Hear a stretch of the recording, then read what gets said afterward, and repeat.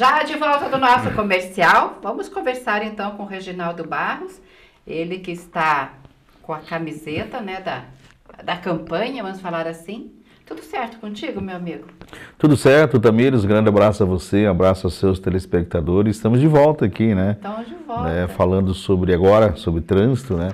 Estamos na plena campanha de Maio Amarelo, é, de conscientização né, dos nossos motoristas assumi a diretoria de trânsito tem uns 40 dias mais ou menos, já enfrentando essa campanha, né? Que é interessante, mas lamentavelmente até certo ponto triste, né? Triste de que nós não estamos sendo correspondidos, né? Pelos nossos motoristas. Lançamos a campanha e lamentavelmente o índice de acidente no mês de maio acabou aumentando, inclusive com mortes. E aí a gente percebe que realmente né, vem tendo um desrespeito às leis de trânsito e, consequentemente, vem o registro desses acidentes alarmantes. Mas nós estamos trabalhando, estamos fazendo a nossa parte aí é, nessa campanha e posteriormente também.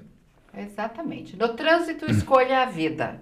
Será que as pessoas estão indo para este caminho? Pelo jeito que você falou, não, né? É difícil, é difícil, né? Pelo, pelo trabalho que a gente vem fazendo e pelo que nós estamos constatando, as irregularidades também. Inclusive, em conversa com, com os parceiros, principalmente a Polícia Militar e Guarda Municipal, é, solicitamos, juntamente com o nosso secretário Eliseu Vital, que fosse apertado o cerco. Né? A ideia, a princípio, é que o mês de maio fosse somente é, um trabalho educativo, né, com blitz educativas. Mas nós mudamos o foco. Mudamos fo o foco porque é, os motoristas não estavam respeitando começamos a realizar blitz punitivas. Né? Somente na última blitz que nós tivemos, foram 11 motocicletas irregulares foram apreendidas. Nossa. Nós tivemos na semana passada a apreensão né, de, uma, é, de uma motocicleta com quase 400 mil reais de débitos, tá? Motocicleta esta com 15 avanços, que é multas, né? Mais outras multas, que é de uma empresa, é, desde 2014 vem acumulando essas multas. E aí nós temos as imagens, né? É, desta motocicleta avançando o semáforo. E a pessoa passa com a maior tranquilidade. Então, o que, que a gente tem? É, de que essas pessoas que têm... Porque se tivesse o nome dela, estivesse certinho, ela não faria isso. Então, chega um momento né, que ela não consegue mais pagar né, as multas, pagar aí o, os débitos, e essas pessoas saem por, pela cidade praticando essas irregularidades. E aí que vem um acidente. E as pessoas falam que trânsito violento. Mas, na verdade, essas pessoas acabam provocando né, os acidentes. Então, tivemos também um veículo né, com uma montana também com mais de 300 mil reais de débito que foi apreendida, motocicleta com 82 avanços, imagina um cidadão. Isso nos locais que são flagrados através do equipamento que nós temos, né, que acaba capturando aí a, o avanço e a parada na faixa de pedestre. Teve uma moto que foi apreendida com 82 avanços, tá? Somente. E tem uma moto circulando na cidade com 131 avanços. Então ele passou no semáforo, né? Vermelho, 131 vezes. Aí imagina só o risco dessa pessoa estar tá colocando a vida dela e a vida de terceiros. Gente, que absurdo. E, e leva... você nem ia levar sorte, né? Mas de ninguém pegar, nem guarda pegar uma pessoa. Pois é, ele pode, que na verdade é o seguinte, né? É flagrado pelas câmeras, né? Mas como ocorreu nesse, nessa moto, houve uma situação de trânsito, nossa agente acabou fazendo a abordagem e constatando o sistema e foi apreendido. Mas uma hora cai. Uma hora cai e nós estamos fazendo várias blitz. A intenção é essa, é de tirar de circulação né, esses irresponsáveis. Eu coloco como irresponsáveis claro. né, uma pessoa que praticam é, essas pessoas acabam praticando né, essa, essas infrações que pode levar a um acidente e, e até morte também. Agora, Reginaldo, por que maio amarelo? Por que escolheram maio para ser o mês do trânsito, vamos falar? É, na verdade, isso é uma, é um alerta, porque o amarelo é atenção, né? É um alerta. E isso é no mundo, tá? No Brasil. Então, foi com o tema no trânsito Escolha a Vida, o órgão, no caso, o Almutrans nosso, vem prevendo aí ações educativas, é, inclusive reforçando o nosso trabalho na, na, escolinha de trânsito e também estamos fazendo aí as palestras, né? Palestras nas na, escolas? É, no, nas escolas, também nos comércios, nas indústrias, nas grandes indústrias, em hospitais, onde, onde permite, permite estamos entrando em contato, inclusive a agenda de agenda de maio praticamente fechada, né? Hoje à tarde fechei mais duas, três palestras, né? Então, assim, de manhã ou sete horas da manhã a gente está lá panfletando quem está chegando no hospital, que a gente vê muitos funcionários que utilizam motos, né? Então, nós estamos fazendo a nossa parte nesse sentido também, nesse mês de maio, para conscientizar aí a esses motociclistas. Aí você fala, mas por que é, você só está falando, Reginaldo, de motociclistas? Porque, na verdade, o foco é, desta campanha são os motociclistas, né? que nós percebemos um índice muito alto de motos envolvidas em acidentes. Só para você ter uma ideia, é, fechando o mês de abril, maio, não terminamos ainda de fechar, nós tivemos aqui o Morama 291 acidentes registrados, acidentes com vítimas, né, com o Corpo Bombeiros, o SAMU, vai até o local para atender. Desses 291 acidentes, 161 com motos. Tá? E quando há um acidente de motos, é, o Corpo Bombeiro chega ao local, esses motociclistas, eles são encaminhados ao hospital. Eles, são, é, eles ocupam um leito hospitalar. É, de repente, sua mãe, seu pai, né, um membro da família, deu um princípio de infarto, precisa é, de um leito hospitalar, mas aí você olha no hospital, é, os leitos estão sendo ocupados por pessoas né, que poderia ter evitado o acidente, mas está lá. E aí você vê sempre, o, Tamires, o SAMU vindo de Umuarama, porque tem aquele né, regulador, né, procurar onde é que tem a, a, onde é que tem o, leito hospitalar, aí vem o, o, o helicóptero do SAMU buscar uma pessoa de Moarama, levar para Maringá, Londrina, onde tem leito. Aí você olha, está sendo ocupado por algumas, algumas pessoas né, que praticaram é, uma desatenção, vamos dizer assim, no trânsito. Então a ideia é essa, né, é evitar os acidentes, é, é, desocupar os leitos hospitalares e sem falar também, Tamires, quem já sofreu acidente de moto sabe como que é dolorido a recuperação. Temos a recuperação, né, as consequências são graves quando chega a morte. Já tivemos uma morte nesse mês de maio aqui em Umuarama. É, tem sequelas e sem falar que causa prejuízo também econômico. Mas de que forma causa prejuízo econômico? Além dos cofres públicos, né? Que é o, o cidadão que se acidente de moto, ele vai para o hospital, tem toda uma logística, mas se ele trabalha, se ele é um funcionário exemplar, é aquele funcionário que faz aquela máquina funcionar, Aí ele está indo para o trabalho, começa às 8 horas. Aí ele tem a capacidade de acordar tarde, sair de casa 5 minutos para as 8, aí ele sai na maior velocidade, ele não respeita a via preferencial, ele não respeita o semáforo, aí se envolve no acidente, quem perde é o patrão, além de aguardar a recuperação dele. Então tem toda uma, uma, uma cadeia ali que acaba causando né, uma sistemática complicada quando as pessoas acabam se envolvendo no acidente. É isso que nós queremos colocar, conscientização. E dá para você é, evitar os acidentes. Sai de casa mais cedo, é. ultrapasse na forma correta pela esquerda. É, limite de velocidade é 40, anda 40. Pare, pare. Mesmo que você esteja na preferencial, é, dá uma olhada na frente, né? De repente você vê um veículo que vai avançar. Confiar, né? E se você está devagar, você consegue evitar os acidentes, tá? Então, gente, é isso que a gente está que nós estamos colocando. Nós estamos indo nas empresas, né?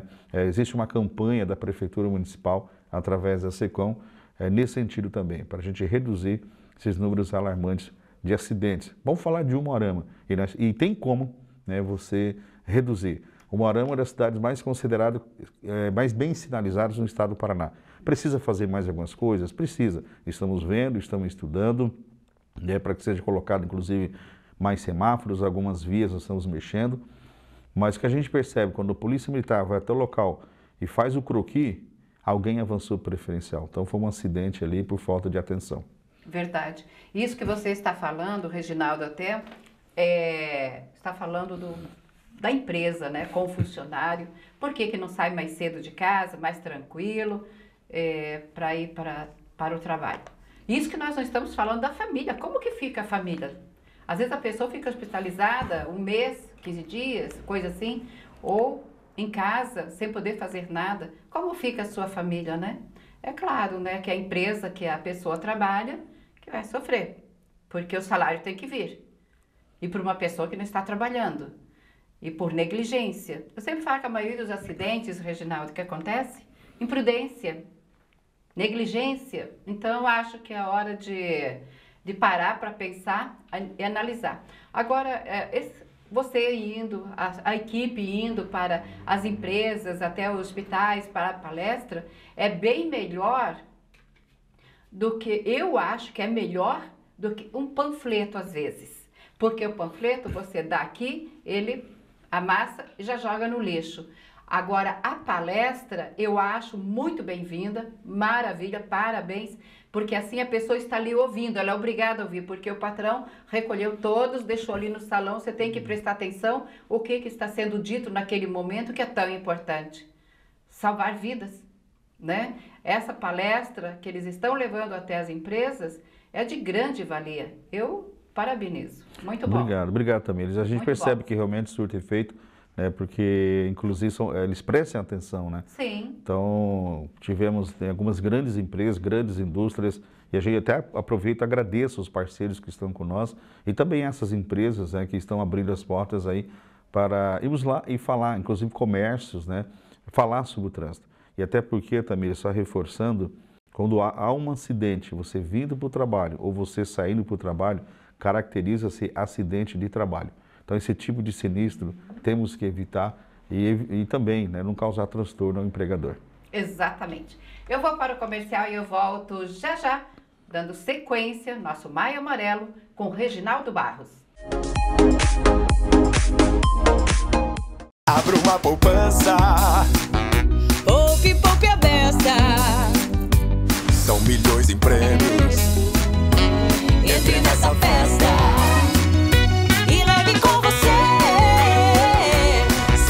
Mais louco. Concorra a milhões lindos no seu bolso. Promoção Poupança Premiada Sicredi. Traga sua poupança pro Sicredi e concorra a 2 milhões e meio em prêmios em dinheiro. Já de volta do nosso comercial, Reginaldo, é, esta campanha é mês de maio. Só que eu sempre falo, nós não podemos utilizar a campanha só para o mês de maio, maio amarelo.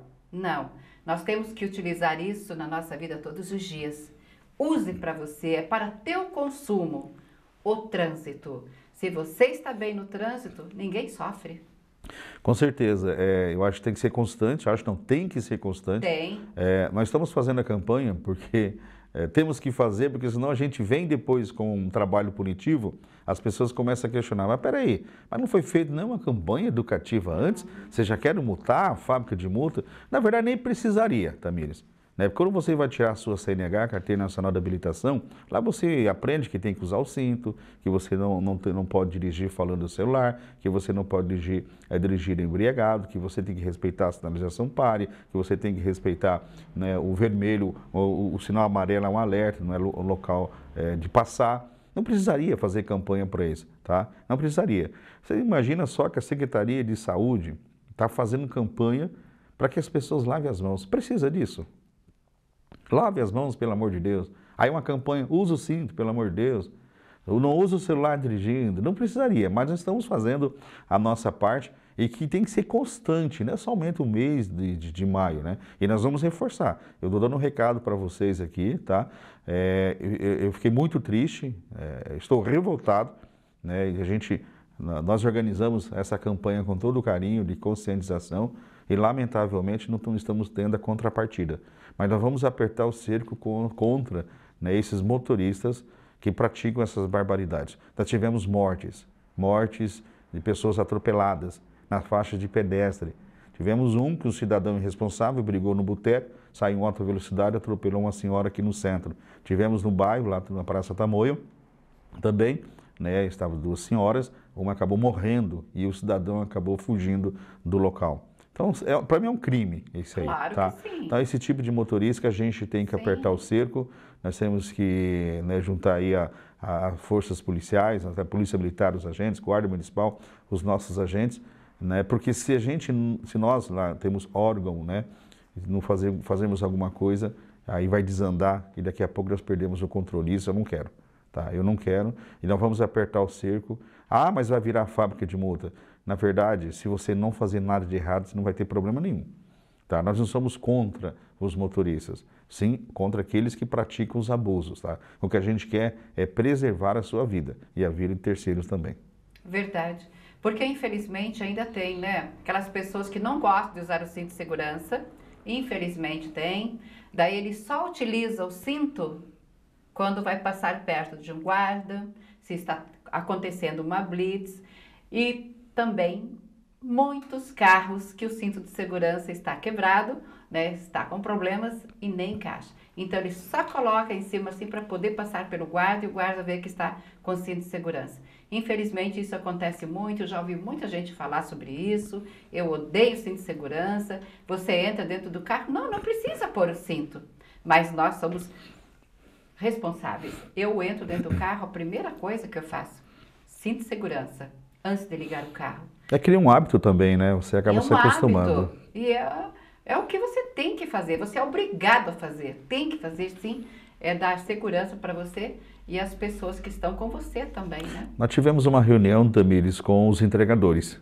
Tá? Gente, Nós Uhum. percebemos, através desses levantamentos que nós fizemos nos avanços, que você vai até colocar alguns aí na- nas imagens enquanto a gente está conversando, de alguns entregadores, de madrugada, à noite. Sempre tem muitos E lanches, nós né? fizemos uma reunião, né, uma palestra, não foram todos, né, mas temos mais de 200, foram só 20, mas a gente quer chegar até eles. Inclusive a ideia, até conversando com o prefeito, Pimentel, é de fazer uma, uma regulamentação desses entregadores para fazer com que o proprietário dessa lanchonete, um restaurante, um delivery, ele contrate uma pessoa que tenha a motocicleta, o nome dela, uma pessoa que não tem passagem pela polícia e uma pessoa que seja responsável no trânsito. O que nós não podemos, né, é de você exigir e aí você acaba é, entregando uma mercadoria para levar numa residência, essa pessoa sai em alta velocidade, andando pela calçada, pela calçada, empinando a motocicleta, furando o semáforo e muitas vezes essas motos são chamadas motos BOs. Aquelas motos que são baixadas aqui em Moarama, tem uma, uma crescente muito grande. Inclusive um alerta que eu faço. Atenção, se você é acostumado a comprar essas motos baixadas, tome cuidado. Agora é cadeia. Nem o delegado arbitra fiança. Nós temos aqui a- a- uma, a- motos que as, que as pessoas compram para vender as peças e eles dão uma ajeitada ali, vendem essas motos baratinhas e essas pessoas acabam circulando pela cidade. Colocam placa dublê e saem por aí praticando irregularidades, mudando o escape, barulhento. E agora é o seguinte, estando ali danificado, raspado o chassi, eh, né, ou, ou de repente você é, a- a- alterou ali a, a placa, você vai ser encaminhado para delegacia, tá? Isso é crime. Inclusive, Tamir, nós temos aqui em Arama pessoas que retiram as placas das motos para não serem registradas no semáforo. Tem pessoas aqui em Arama, nós já pegamos, inclusive de uma empresa, outras motos, que acabam mudando ali, pega uma letra J, faz um letra, pega a fita isolante, faz um zero para passar no semáforo. Aí quando você vê, dá um veículo Onix. Né? Mas nós estamos atentos a isso, inclusive conseguimos pegar, foi encaminhado para a delegacia, inclusive o proprietário dessa empresa. Então nós estamos atentos a tudo isso. Não adianta você tentar burlar. E é crime, crime que dá cadeia, isso pode prejudicar.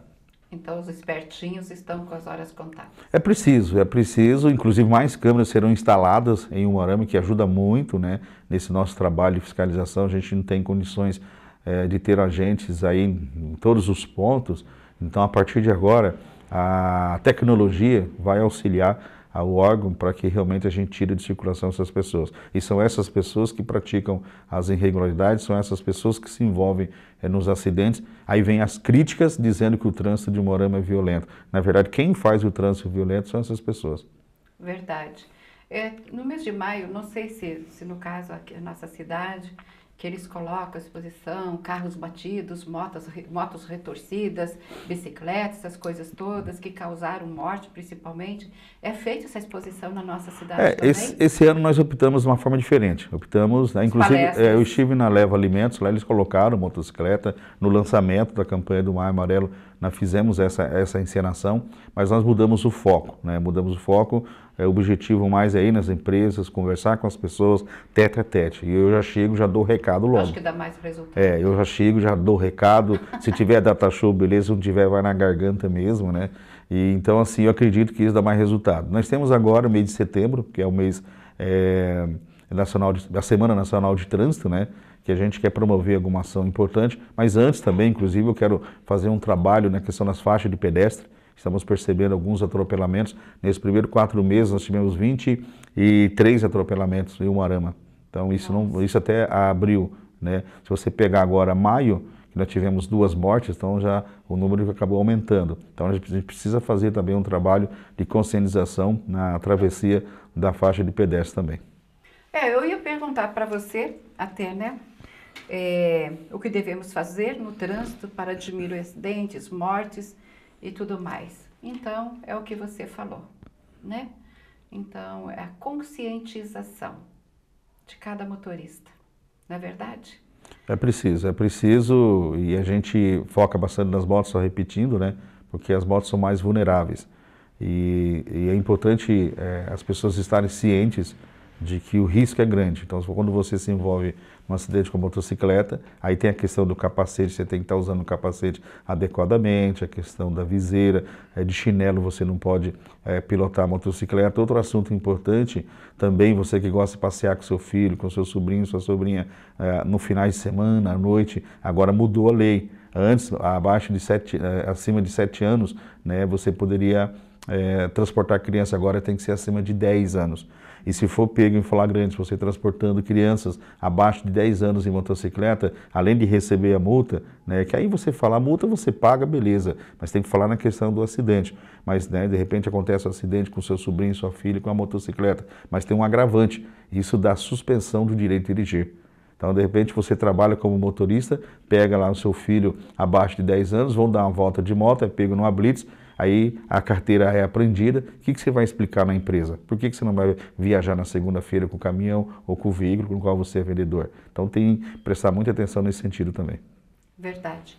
Algo mais que você queira falar a respeito da nossa campanha? Não, só agradecer você, Tamires, né, e a gente pede uma contribuição legal que você está né, é, concedendo aqui no seu programa, abrindo esse espaço para a gente falar a respeito de trânsito, que é um assunto preocupante.